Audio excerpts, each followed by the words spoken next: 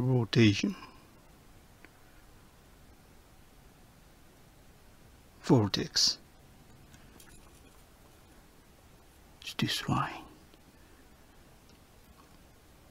About turbulence or such a phenomenon unsolved phenomenon is